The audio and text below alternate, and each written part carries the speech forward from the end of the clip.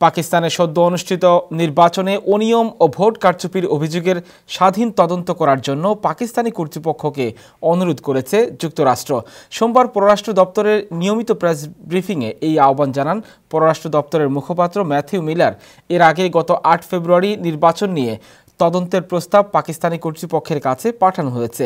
এ বিষয়ে এক প্রশ্নের জবাবে ম্যাথিউ মিলার বলেন, তারা মনে করেন পাকিস্তানের আইনি ব্যবস্থাই এই ঘটনার তদন্ত করা সম্ভব।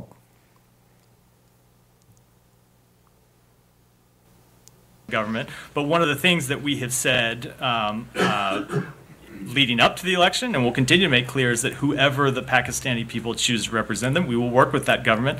And as to the claims of fraud, we want to see those fully investigated.